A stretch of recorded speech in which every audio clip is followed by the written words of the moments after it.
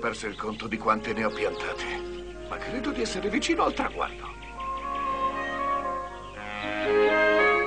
Da genitori gialli e lisci, figli verdi e rugosi. Eh sì, non c'è alcun dubbio, i verdi rugosi sono recessivi, mentre i gialli lisci dominanti.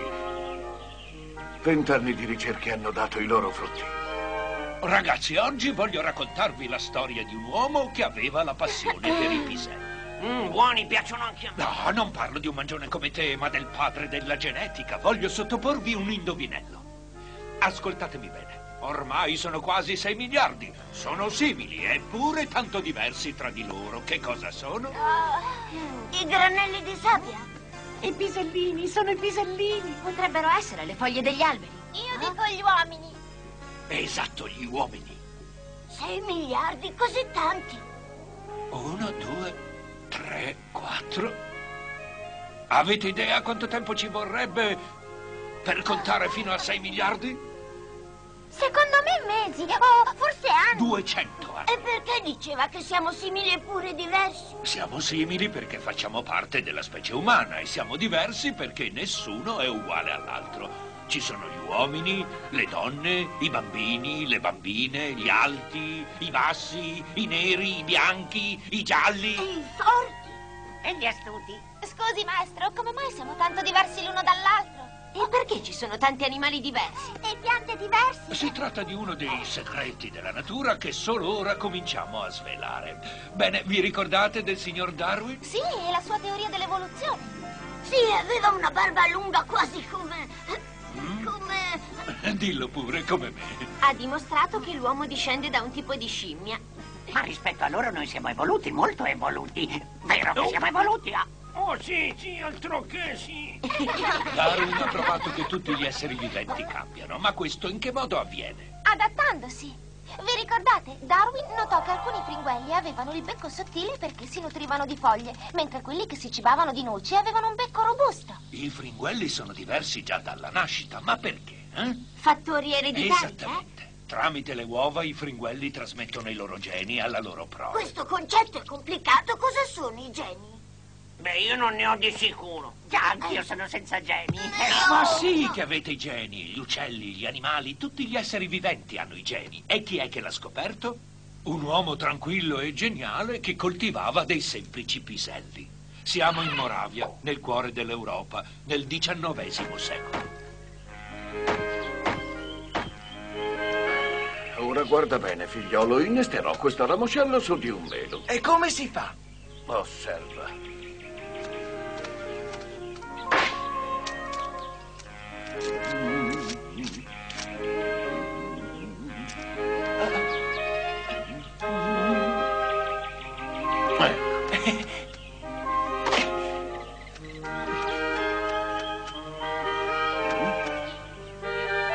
Vero, ha del talento questo ragazzo.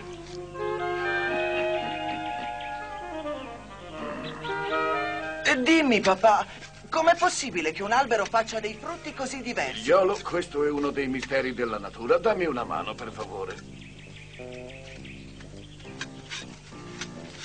Ehi, tu.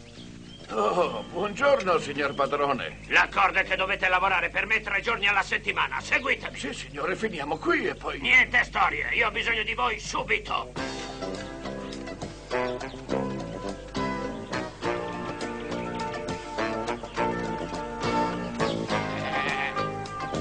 È proprio bello quel montone. Sì, è vero, è il migliore dell'allevamento. Voglio vederlo da vicino. Mendel, se mi dai questo montone ti abbuono sei mesi di lavoro. Oh, beh, le chiedo scusa, ma è il risultato di numerosi anni di selezioni. Non posso separarmene. Ma io lo voglio.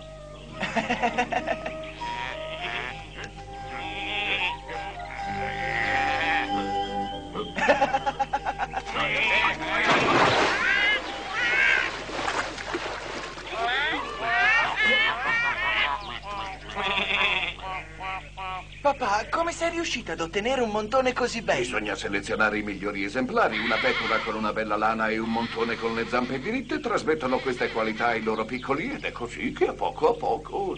Ma come funziona? Oh, non chiedermelo, figliolo, non saprei cosa risponderti.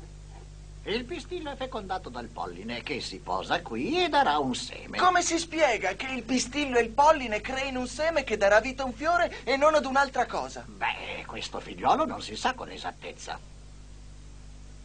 Nostro figlio è bravo a scuola, dovrebbe continuare a studiare, ma purtroppo non abbiamo i soldi.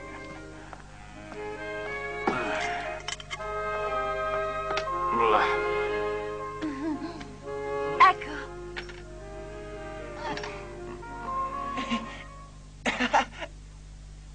Ehi, ma lo vedi quello straccione? Ha un buco nei calzini. Non hai soldi per comprarsene di nuovi. Ma che cosa ci fa un contadino a scuola? È un ignorante. Ehi, voi! Chi io? Dice a me? Sì, dico a voi, il fatto che non abbiate buchi nei calzini non vi rende più intelligenti. Su, sentiamo, cosa ci vuole perché una pianta da fiore produca un seme? Beh, eh, basta scuoterla. E lì in autunno, in autunno. Ah, in autunno, bisogna scuoterla in autunno. Siete due ignoranti! Mettetevi seduti. Mendel, sai darmi la risposta? Il polline deve penetrare nel pistillo, signore. E da dove arriva il polline? Dalla stessa pianta o da un'altra. Se proviene da un'altra varietà, il seme produrrà un ibrido. Molto bene, Mendel. In quanto a voi, nonostante i vostri calzini di seta, avete molto da imparare da Mendel. Per oggi è tutto, potete andare.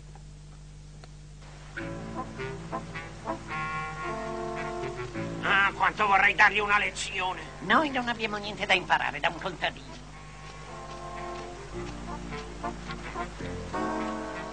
Ehi tu, ehi! Hai paura, eh, fifone? Guardalo, non ha nemmeno il coraggio di voltarsi. Ah, tocca a me, tocca a me, tocca a me tirargli i sassi.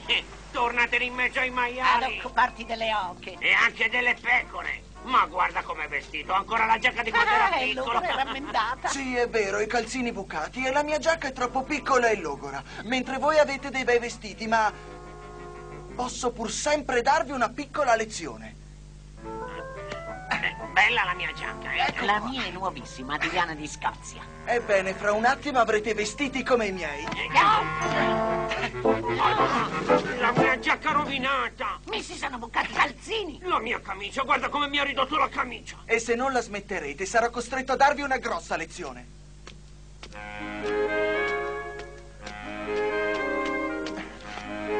Ehm, salve, vorrei del pane e tre carote. Eh, anzi, no, due carote.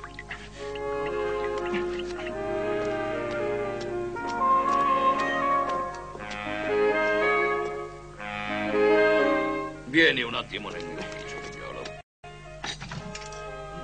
Tieni, mangia e Oh, ma professore, No, avanti, non fare complimenti. So bene che non hai molti soldi, ma alla tua età se non mangi a sufficienza rischi di ammalarti. Tu non vuoi abbandonare gli studi, vero? Beh, avrei una soluzione. Recati a mio nome al convento degli agostiniani di Brno. Questo è il refettorio dove consumiamo i pasti. Grazie a Dio qui da noi il cibo non manca. Quello è fratello Mattia, il nostro botanico, è lui che si occupa del giardino. Da pure un'occhiata in giro. Sono sicuro che andrete d'accordo. Tu sei veramente un appassionato di botanica, figliolo? Certo, padre, sono un contadino, figlio di contadini e studio scienze naturali. Finalmente c'è qualcuno con cui potrò parlare delle mie piante. Avvicinati, ho diverse varietà di fagioli e di piselli. Sono molto interessanti, sai? E questa è la nostra cappella dove ci riuniamo a pregare. Madre Natura vuole che quando le piante e gli animali si riproducono diano vita a dei discendenti simili a loro, eppure non sempre è così. Come sarebbe a dire, padre? Ti darò un piccolo esempio. Supponiamo che questi piselli si riproducano. Facciamo finta che le cose avvengano come tra un uomo e una donna, o anche tra un esemplare maschio e una femmina del regno animale. C'è un periodo di corteggiamento durante il quale si approfondisce la conoscenza, dopodiché c'è l'innamoramento e infine ci si sposa. Quale coronamento migliore se non quello di riprodursi? Abbiamo fatto proprio dei bei bambini. Ti somigliano moltissimo, tesoro. Poi i bambini crescono e a loro volta si corteggiano, si innamorano e si sposano. E come è successo ai loro genitori, si riproducono e mettono al mondo dei piccoli. Come sono belli i nostri figli. E guarda come ti somigliano questi tre. Sì, ma questo qui invece non mi assomiglia affatto. Forse no, però è il risultato della mia mamma, non trovi? Sì, è vero. Ed è lo stesso per gli esseri umani. Perché i bambini assomigliano al padre o alla madre e a volte a tutti e due, lo sapete? È un bel mistero. Perché i pisellini, pur essendo tutti gialli, danno vita a dei pisellini verdi? E, e poi ho notato anche altri fatti inspiegabili. A mio avviso bisognerebbe fare un esperimento che probabilmente durerà molto tempo. È ora di pranzo, vieni, dobbiamo recarci al refettorio. Benedici, signore, il cibo che abbiamo per mangiare.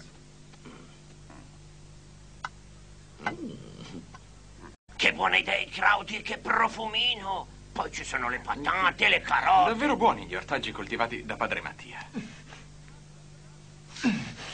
Beata gioventù, come l'invidio. Dimmi, che cosa stai piantando? Dei piselli, padre. E da questa parte e da quest'altra? E sono piselli, tutti Mangeremo piselli. piselli da qui all'eternità, figliolo. Ce ne vogliono migliaia per il mio esperimento. Le spiego, padre. Qui semino i piselli col baccello verde e laggiù quelli gialli. E poi piselli con il fiore bianco, con il fiore rosa, con il fusto basso, con il fusto Quanta alto. energia! Presto avrai migliaia di piselli. E che cosa ci farai dopo? Intendo incrociarli, ibridarli, padre, e vedere che succede nel corso delle generazioni. Piselli stufati, zuppa di piselli, piselli bolliti e solo un piccolo pezzetto di maiale. Ringraziamo il Signore per questo nostro pane quotidiano e per i pisellini coltivati da padre Gregor. Ma quale pane per i nostri pisellini quotidiani? A che punto sei arrivato, figliolo? Devo continuare ad incrociarli. Inserirò il polline dei fiori rosa col baccello verde nei fiori bianchi col baccello giallo e quello delle piante. No, a- no, no, no, non così in fretta. Caspita, che lavoro. Sì, vedo cosa stai facendo, anche se i miei occhi non sono più quelli di una volta. Già, nemmeno i miei, padre. Guardi, ora porto gli occhiali. Ora prendo il polline del fiore rosa e lo metto nel pistillo del fiore bianco.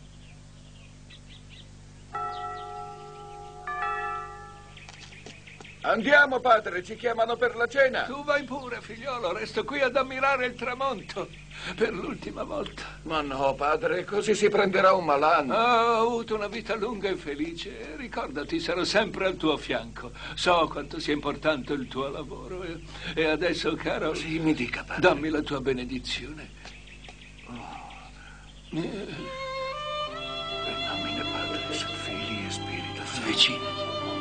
Ti ringrazio, figliolo. Ora puoi andare.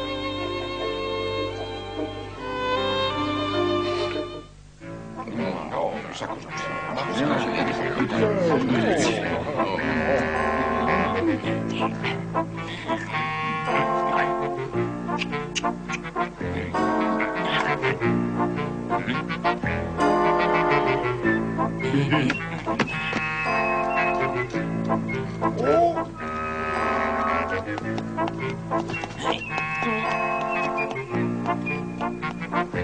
Ecco, io la prego di scusarmi, padre. Eh, mi sono caduti sotto il tavolo e così mi sono abbassato per raccoglierli. Lei mi capisce, vero? Eh?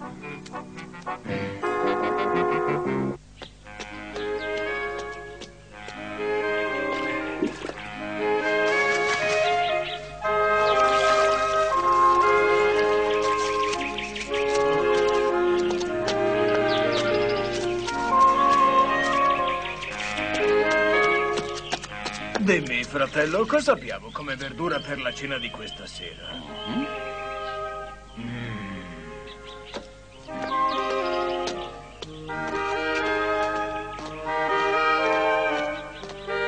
Ascolta, fratello Gregor, ne abbiamo abbastanza di piselli. Noi abbiamo voglia di patate. Allora piantatele, io ho da fare. Bene, molto bene. Per cominciare toglieremo un po' di piante di piselli.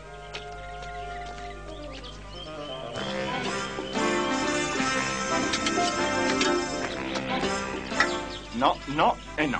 Noi vogliamo piantare le patate. Non qui, fratello. Non vedi che ci sono già i piselli? Non ne passiamo più di piselli, ormai ne abbiamo fin sopra i capelli. Strapperemo tutte le piante. È fuori discussione. Stiamo conducendo un esperimento scientifico rivoluzionario. A me interessa il mio stomaco, non la scienza. Se invece vuoi piantare le tue patate laggiù, in quel campo, c'è tanto posto. Accomodati. Ma io voglio piantarle qui. Qui è tutto occupato, ma Eh, se vuoi ti no. aiuto a scavalcare il muro. Eh, Via. cosa fai? No, no. Ah! Hai bisogno anche tu di una mano per passare dall'altra parte. No. Bravo. Allora, coraggio, vogliamo cominciare? qui le nostre patate. Oh, io! Mi hai fatto un male terribile. Oh. Evviva, ho trovato, ora ne ho la certezza. Che cosa hai trovato, fratello? I caratteri delle piante vengono trasmessi da dei fattori ben distinti, due per il colore, due per la forma e due per la dimensione. Alcuni di loro sono dominanti, è evidente. Il giallo domina, quindi è un carattere dominante. Io non ho capito molto bene cosa Già, è significa. complicato, io non ho capito niente. Non vi ricordate di Darwin, ragazzi? Nell'origine della specie ha detto che... Sappiamo poco sulla trasmissione dei caratteri ereditari. E solo qualche anno più tardi Mendel scopre le leggi sull'ereditarietà. Questo perché scopre il gene. Il gene, unico fondamento della genetica moderna.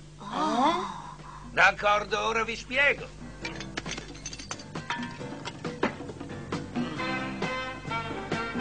Ogni pisello ha due geni che ne determinano il colore, uno giallo e uno verde, ma il giallo è dominante. Se si lega un gene verde, il giallo avrà il sopravvento e il pisello nascerà giallo. E nella generazione seguente, guardate un po' cosa succede. Anche questa volta è il carattere giallo a dominare, vedete qui e qui. Ma qui, miracolo, ritroviamo due geni verdi. E il colore verde che era scomparso nella seconda generazione, ecco che ricompare nella terza. Quindi è grazie alla riproduzione che mescola i geni degli ascendenti se la natura si presenta con una tale varietà di forme di vita. Ed ecco il motivo per cui i bambini hanno le caratteristiche mescolate dei loro genitori o dei loro nonni. Infatti qualcuno assomiglia al papà, qualcuno alla mamma, a volte ai nonni, spesso anche agli zii. Ci sono delle caratteristiche fisiche che a volte saltano delle generazioni, per ricominciare magari nei pronipoti.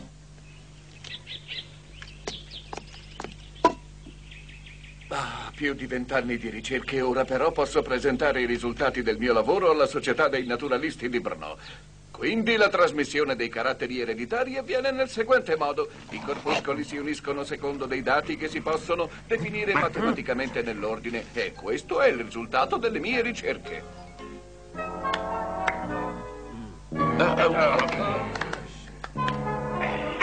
È molto interessante. Eh, non hanno capito un bel niente, devo farmi venire un'altra idea. Proprio così, nessuno aveva colto l'importanza del suo lavoro. Mendel era troppo avanti per i suoi tempi. Ho avuto un'idea. Se è possibile selezionare e modificare le piante, dovremmo riuscire a farlo anche con gli animali. Anche con le mucche. No, ci vorrebbe troppo tempo. Proverò con le api, si riproducono più rapidamente. A cosa serve quello? Ad allontanarle dal favo. Le api detestano il fumo. Posso vederlo? Oh, anche a me piace il fumo. Che facciamo? Creeremo una nuova varietà di api che produrranno molto miele. Per cominciare. Ecco, prendo la peregina di questo sciame e la metto in un'arnia nuova con un po' di miele. Da un'altra arnia prelevo dei funghi che metto insieme alla regina. Beh, chiaramente ci vorranno degli anni per completare il lavoro. Eh sì, certo. Hai visto? Queste api producono una quantità doppia di miele rispetto alle altre. Penso di essere sulla buona strada.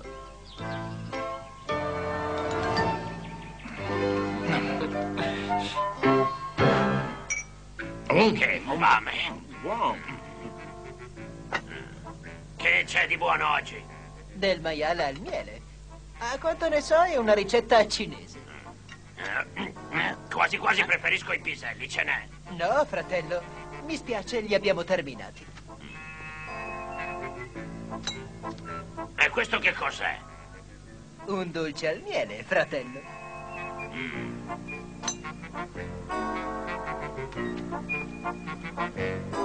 E questo, fratello, è miele. Boh. Scusate, avete perso qualcosa?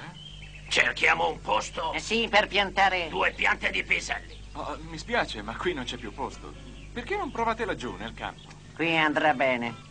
Io non ve lo consiglio. Il giardino appartiene a tutti i monaci, dico bene?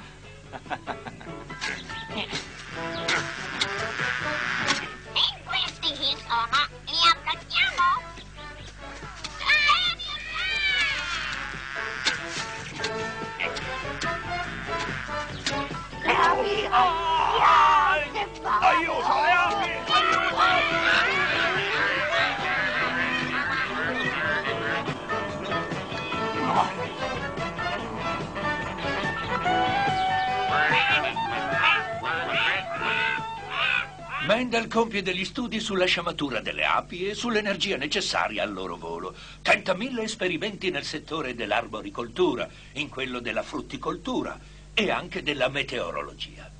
Ma la sua fama è legata agli esperimenti coi piselli, cioè ai geni. Il fondamento della genetica moderna. Ma bisognerà aspettare ancora qualche decennio prima che i suoi risultati, passati sotto silenzio, ricevano il giusto riconoscimento.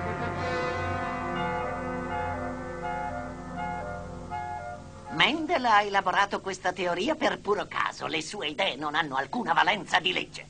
E soprattutto è una teoria che non sta in piedi. Il signor De Vries. Signori, le leggi che ci descrive Mendel trovano applicazione a tutta una serie di vegetali. E ci ha spiegato che regolano anche il mondo animale. E perché quello degli esseri umani forse no? Vi ricordo che Mendel ha scoperto i geni.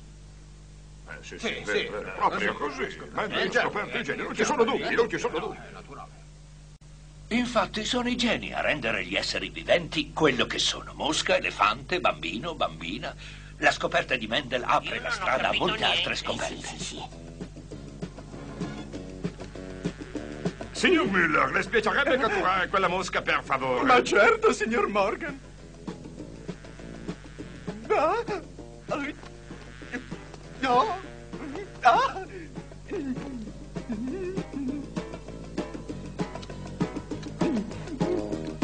I geni sono racchiusi in quei bastoncini, i cromosomi. Ah, Ho trovato, ho trovato!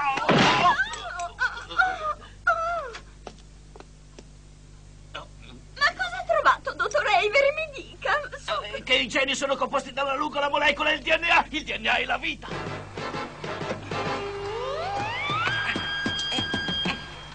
Watson, Crick, che cosa state facendo? Cercavamo di ricostruire una molecola di DNA. Eh, Cosa? Allora, che cosa vede, signora McClintock? Sono i geni dei colori. E che cos'è quello scarabocchio, dottor Ochoa? È il codice genetico che ho appena decifrato. Oggi sappiamo che il DNA contiene dei geni che trasmettono i caratteri e che gestisce la produzione di ciò di cui l'organismo ha bisogno. E la scienza permette di modificare questi geni in laboratorio. Grazie alla genetica possiamo fabbricare dei nuovi farmaci per il trattamento delle malattie ereditarie. Per la prima volta l'uomo è in grado di controllare la sua evoluzione. Vuol forse dire che adesso l'uomo può trasformarsi da solo? Certo, ha imparato ad agire sui geni e quindi sull'ereditarietà. E questo gli... Coup de sagesse. Les découvreurs façonnent pour nous des mondes meilleurs.